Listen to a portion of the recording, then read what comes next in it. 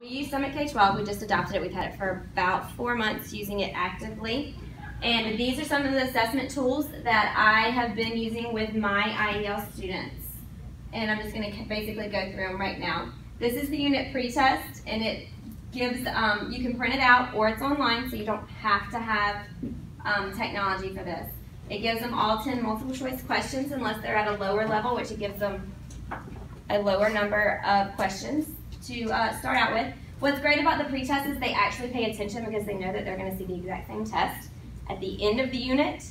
So they really want to understand what they're looking for when we are studying our units.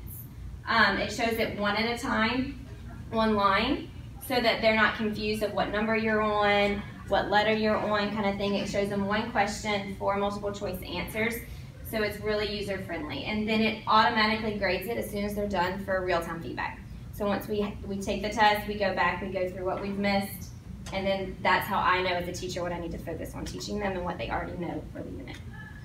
Um, I usually begin every lesson with um, a concept connector, and this is at the beginning of every book that we have, and I print this out, and it's great. The um, students label the pictures that they know, and it allows me to see the vocabulary that they know and the vocabulary that they need to learn. And then this is the actual in the book and online that you can go to. Once they've labeled it, I have them come up here and label it, and then I can introduce them to the vocabulary that we're going to be studying for this unit. It also comes with great um, questioning for your students to get them to start thinking about what we're going to be studying. And the first two questions I focus on with my students, the first four questions. You can see that the first two questions really um, focus on the blue, green, orange, and purple levels. And as you get higher in the questioning, the, the higher order thinking they get, and then the, the higher level of the books there are. So this is the concept connector where I begin the lesson. Each lesson also comes with vocabulary boosters, and we've talked about these. Um, it's great online, but you all, they also have actual cards where the children can hold, they can talk about, they can point to. But in this one, it has great drop-down boxes that they have to choose the correct answer before they can see the back of the card. And then on the back of the card, it gives us the vocabulary from the unit. It shows them how to use the word in the sentence, and then it gives them different practice, um, practicing that word in sentences. The next thing I use is the actual content test. It's at the end of every book, and I use blue um, with my students, and the content test is at the end of every book.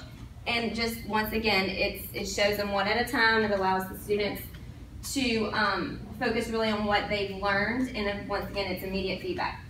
With my 11 IEL students, I started at the, on the blue level, which is about a second grade reading level, and they couldn't do it independently at all.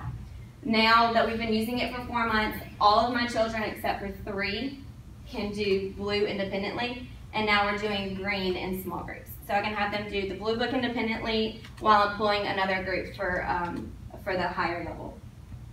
Um, next is the actual language skills content that's in each book.